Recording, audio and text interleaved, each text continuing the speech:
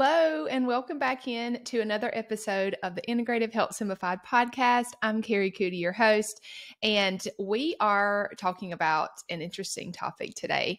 We are still in season one and in a series called Common Health Misconceptions. And in this episode, we are specifically going to be talking about women and women's cycles and how I think everyone just has this common misconception that, like, there's going to be that time of month and it's just going to be terrible. And that's kind of just normal. And so that's what I want to dig into today because, um, true story, a couple of months ago, I was sitting at um, a table with a lot of women, and I don't really know how the conversation got started, but um, someone started talking about their cycle, and then you, you know, just like everybody was chiming in with, "Yes, uh, you know, my time of the month is terrible and I have this and this and this. And it just seemed like, you know, it was just this consensus of everybody must have this. Everybody must deal with all women, I should say, not everybody, obviously, but um, all women must deal with this time of the month. And it's just an, an accepted thing. And at least we don't feel like that the rest of the month, right?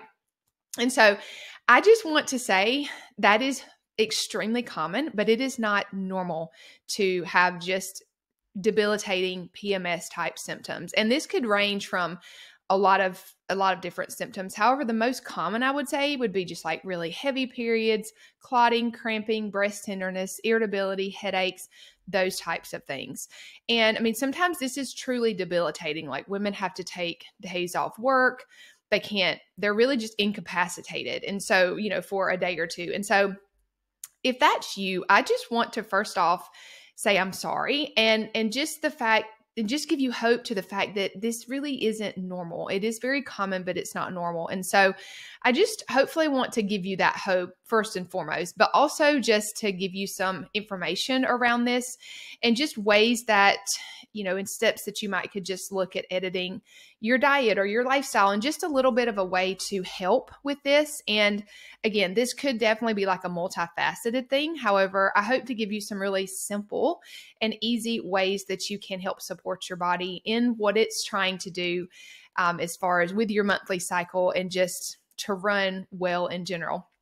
And so I've definitely found like way too many women put up with multiple symptoms around their cycle. Like each month, they muster up the strength and they just get through it.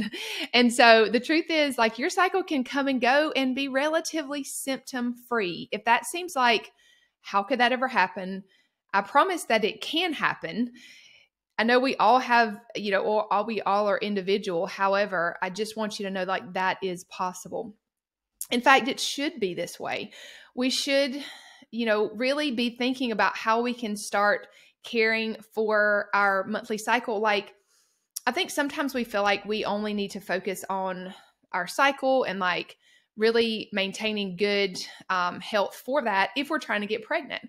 And really it should be we should be caring about these things even if we're like i'm not i'm not in a season where i'm trying to actively get pregnant. Like i'm sort of past that season in my life and and have a little bit you know older children now but yet i still am tracking my cycle, I'm I'm very well aware about how the you know the little nuances in my cycle can really tell a lot about how my body is needing support. And so the reason for that is like our body works as a whole together. And so if one system's off, it's going to impact other systems in our body. And so I want you to just consider looking at your menstrual cycle as like a little monthly report card that shows us the health of our body. It doesn't have to be this dreaded thing that we wish would go away and all of all of the, the bad thoughts that we have about it. Um, I get that you don't want to feel this way. However, it really does tell us a lot about our overall health and we have the ability to really learn about our cycle, what it's saying, and how we can help support our hormones and really overall health. Because this is the thing. And even in my online practice, like I kind of struggled, to be honest, for a while because I really felt like I needed to pick a niche like hormones or gut health or, you know, fill in the blank. But what I've realized and why I feel like I, I kept feeling like this is because it all works together. And so I choose not to focus on solely on one system. I get that these systems affect a lot of our body. However, I want to look at it from the other aspect of how can we support overall health so that it does bring our body back into balance as far as hormones. And it does bring our gut health back into balance and like these different systems that we tend to focus on. I'm very passionate about how it affects our overall health and how we can kind of more focus on that. And then hormones will eventually balance themselves out because that's kind of what happens whenever we do focus on these things that really affect more of our overall health. These things do come back into balance. So, um, you know, a lot of times these type of symptoms are caused by one or both of these things, and uh, they really do go together: excess estrogen and too little progesterone. So, progesterone is really the feel-good hormone, and so a lot of times we have too little of that. That's why we can experience just being really irritable around our cycle. And I get it, you know, it's kind of like a running joke, like stay away from her whenever it's she's about to start, you know?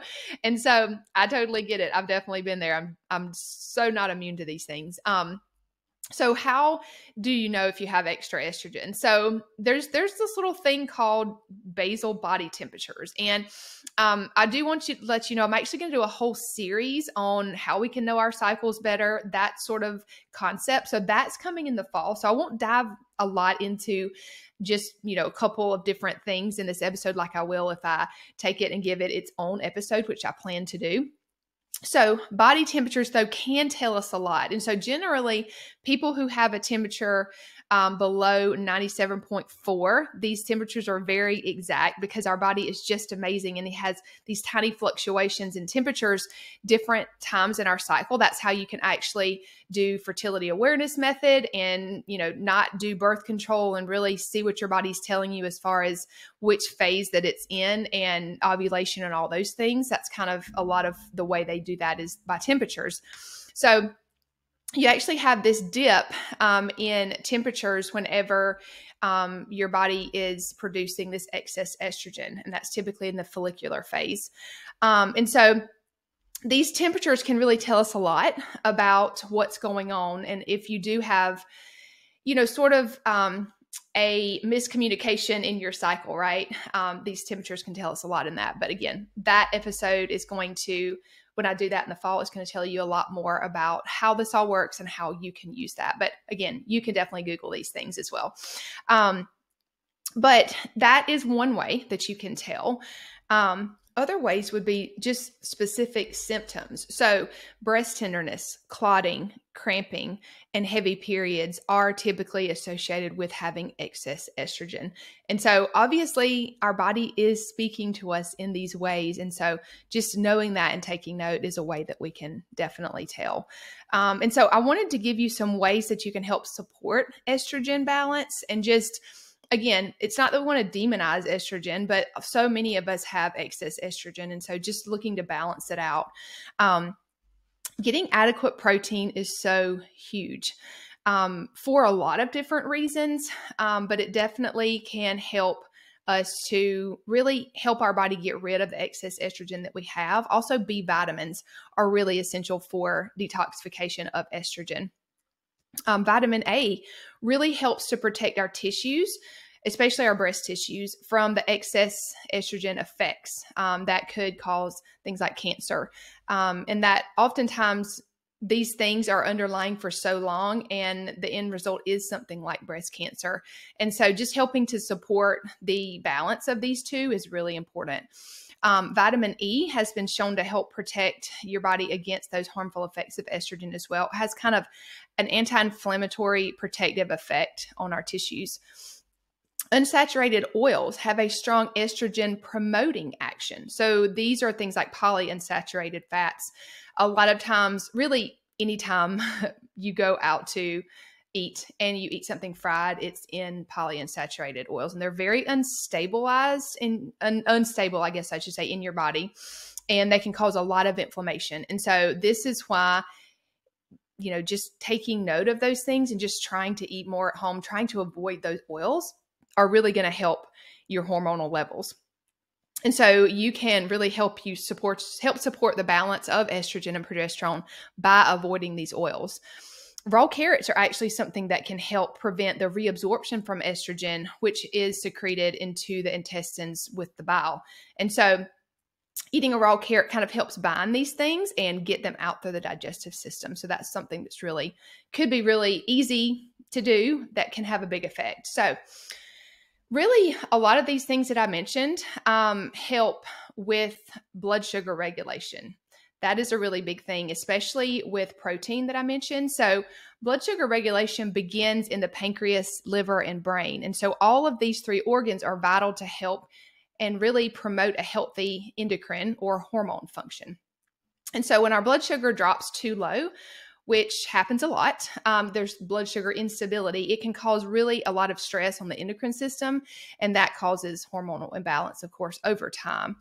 And so, simply by eating uh, really like a balance of protein, carb, and fat, you will help stabilize your blood sugar. And so you also just want to make sure that you're properly fueling your body in general with enough calories and enough like nutritional density to those calories. And so most women do really well eating around 2000 calories a day and having a balance of macros within that. And so that's really key to balance blood sugar because when it's really unstable like that, it it affects the endocrine system, which of course is where we where the hormones are at, right?